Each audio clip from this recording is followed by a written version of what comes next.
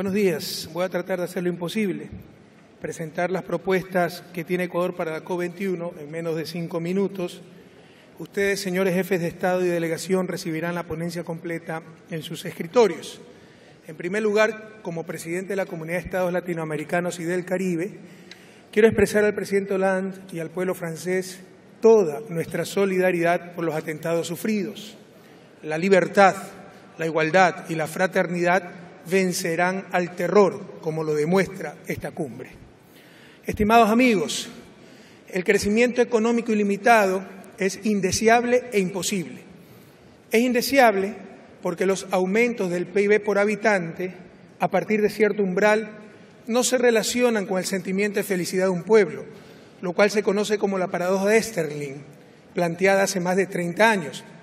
Pero sobre todo, el crecimiento económico ilimitado es imposible. La tecnología y la eficiencia amplían límites, pero no los eliminan. El efecto consumo domina al efecto eficiencia.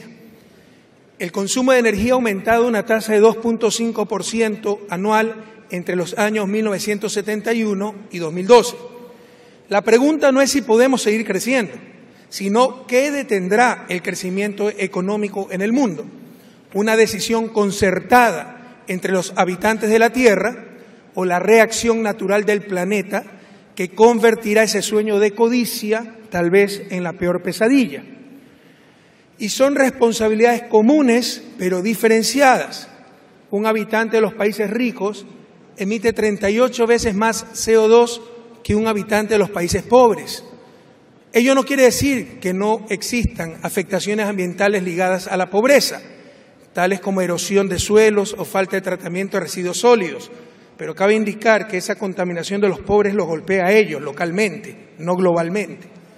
Además, la eficiencia energética entre los países ricos y pobres es aún abismal y se ha incrementado de 4.2 a 5.1 veces entre 1971 y 2011 la ciencia y tecnología no tienen rivalidad en el consumo.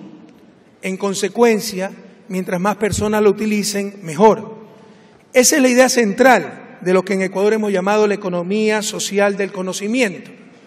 Por el contrario, cuando un bien se vuelve escaso o se destruye a medida que se consume, como la naturaleza, como los bienes ambientales, es cuando debe restringirse su consumo para evitar lo que Garrett Harding, en su célebre artículo de 1968, llamó la tragedia de los comunes. La emergencia planetaria exige, exige un tratado mundial que declara las tecnologías que mitiguen el cambio climático y sus respectivos efectos como bienes públicos globales, garantizando su libre acceso. Por el contrario, esa misma emergencia planetaria también demanda acuerdos vinculantes para evitar el consumo gratuito de bienes ambientales. Una respuesta es hacer vinculante al protocolo de Kioto y ampliarlo para compensar las emisiones netas evitadas, N por sus siglas en español.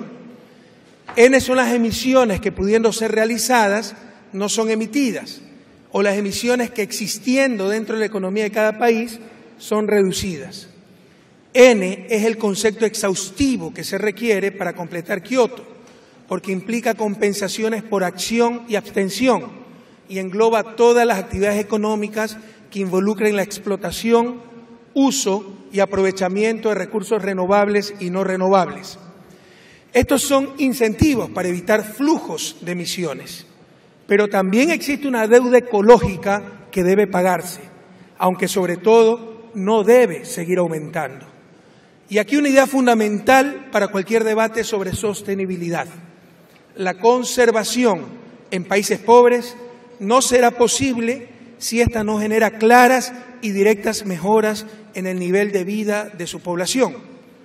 El Papa Francisco, en su reciente encíclica Laudato Si, nos recuerda que en los países en vías de desarrollo están las más importantes reservas de la biosfera y que con ellas se sigue alimentando el desarrollo de los países más ricos.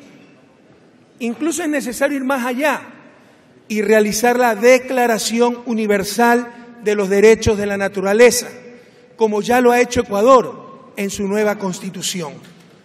El principal derecho universal de la naturaleza debería ser el que pueda seguir existiendo por ser fuente de vida, pero también que pueda ofrecer los medios necesarios para que nuestras sociedades puedan alcanzar el buen vivir. Aquí otra idea fuerza para evitar ciertos fundamentalismos. El ser humano no es lo único importante en la naturaleza, pero sigue siendo lo más importante.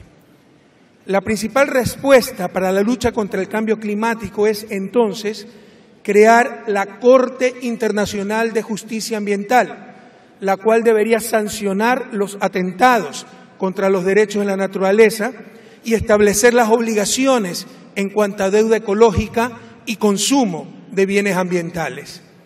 Nada, planeta entero, escúcheme, nada justifica que tengamos tribunales para proteger inversiones, para obligar a pagar deudas financieras, pero no tengamos tribunales para proteger a la naturaleza y obligar a pagar las deudas ambientales.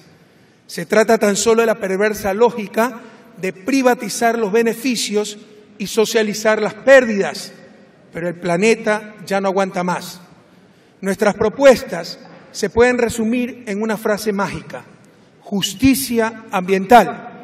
Pero como decía Trasímaco hace más de dos mil años en su diálogo con Sócrates, la justicia es tan solo la conveniencia del más fuerte. Muchísimas gracias y disculpe porque no pude presentar esta ponencia en menos de cinco minutos. Hice lo posible.